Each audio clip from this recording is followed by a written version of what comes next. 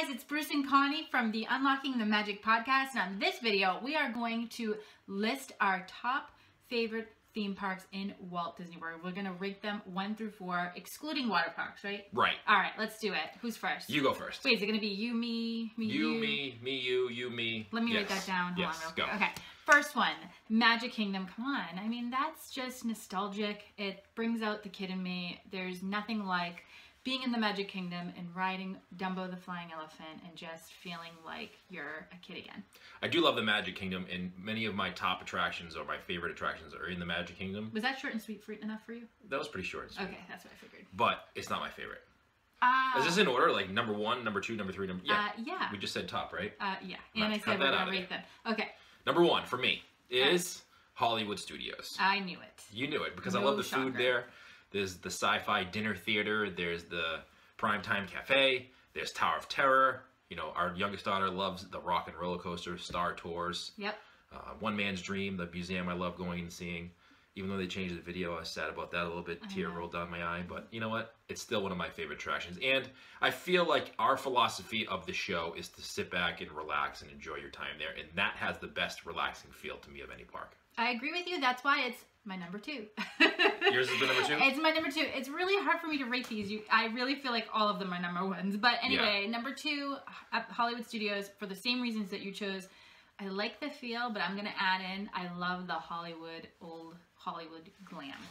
I do love the Main Street Yes. and the shows that they put on throughout the day, the actors that go there. Yes. Uh, it just makes the whole thing come to life. awesome. All so right. my number two is the Magic Kingdom. Ours are swapped. All right. Yours is number Shocker one. ours is number two. here. And let me just say this: these have Just say changed. These have changed for me. Because you're gonna Do say it yours? anyway. Do yours change? yeah, I guess they do actually. Mine changed. Like if you asked me a year ago, these would have been in a different order. That's true. I had never thought of it that way before until you brought it up. So maybe we'll have to do this every year. This is the 2017 version of my Every top six four. months. Yeah, well, year. Every year. Yeah, that'll change six months. That's too quick. Okay. But mine's Magic Kingdom, and for all the reasons I just said. The classic attractions like the People Mover, the Carousel of Progress, uh, the Speedway, Space Mountain, Splash Mountain. So many of the great classic attractions are at this theme park. Um, and I do love Tom Sawyer's Island and So Adventureland. I know. And w- Too one of my to list. yeah, one of my favorite things to do is wander around the parks at night, and the Magic Kingdom to me at night is just a special place. All right, number three. This one was really hard for me, and I think it was perfect timing that you mentioned how they swap for you. Yeah. Because my third and fourth swapped around just recently. My number three is now Animal Kingdom. Really? Yes, which used to be Epcot. So sorry, Epcot, you got bumped down. Bumped, Bumped down. down. Um, Usually we say bumped up. yeah, I rate my kids. Uh, is that normal? Oh yeah. and I bump them up and down. I rate my kids, too. They do for me on a weekly basis. Okay, back to this. Epcot number three. I'm sorry, Epcot number four. Animal Kingdom is now my number three, and mainly because they've just added so much and just changed the overall feel by keeping it open at night. I haven't even seen Pandora yet, but I mean it's not open yet officially. I, We sneaked through the I was just gonna bit. say- we snuck a peek. Um, moving on. a little bit. Let's keep going so that we don't get in trouble here. Um, but I have to say the whole feeling of Animal Kingdom now is just super amazing at night, and it just I love. Speaking of relaxing, that is definitely my new favorite place. And going on Everest 17 times before they close is That amazing too. as well. Yes. Actually, my number three is Animal Kingdom as well. It's Perfect. the same thing. Um, Cheater, you looked at my notes. I didn't look at your notes, even though they're right there, and I could have. Okay. You do a very good job hiding those. Yeah, I know. For the same reasons as Connie, you know, the ability to go to Animal Kingdom at night now and see the tree at night light up, and then to go on Everest at night is just amazing. You, uh, riding Everest at night and creeping up that mountain, and then getting to the peak and looking around and seeing all of Walt Disney World lit up is super amazing. Oh wait, you kept your eyes open? I did. I actually recorded it. oh yeah. I went live on. I saw Go the, to our Facebook page and check I that saw out. the recording. I went after. live. The didn't come out too good because I was with an iPhone, but you can hear us screaming, and then the flashes of light here and there.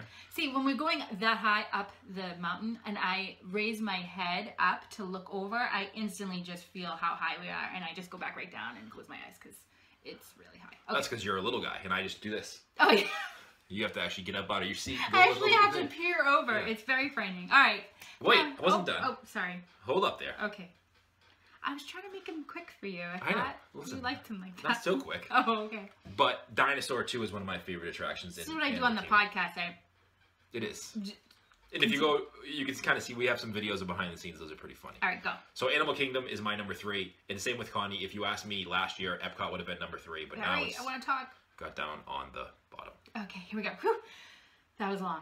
All right, can I go now? Okay, I'm just gonna continue. All right, so number four, I'm really sorry, Epcot. I'm sorry to bump you down, but for now, you're number four. I love you still. I do love the World Showcase, and I absolutely love Future World. But Animal Kingdom has got you a little. I It's time to step up your game, don't Epcot. know. sorry. Okay.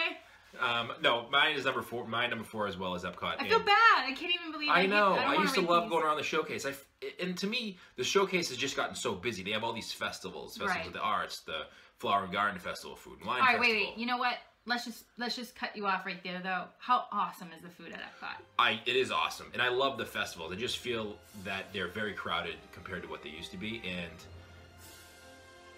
it is a place where you can't necessarily relax at night. A lot of these parks, as we say, we go through at night, and we can enjoy the time at night. Epcot to me feels like the opposite. It, to, it it really is. It totally is. But the food is pretty awesome. So now It I'm back in awesome. the food. Now I'm thinking it should be bumped back up. This is really hard. I don't want to do this ever again. It is. Well, we don't have to because we did it now. Well, Alright. in a year from now, we'll do it again. Perfect. So those are our top four parks, not water parks, in Walt Disney World, rated based on our opinions. Let us hear what you have. Leave a comment below. Subscribe to the channel. Uh, subscribe to our podcast as well, Unlocking the Magic on iTunes and Stitcher Radio. But we want to hear from you. Leave a comment below. Let us know how you rate your parks in Walt Disney Your parks. Your parks. That's it for us. Sorry. She's weird. And a little bit awkward. It's just you know. I'm not gonna lie.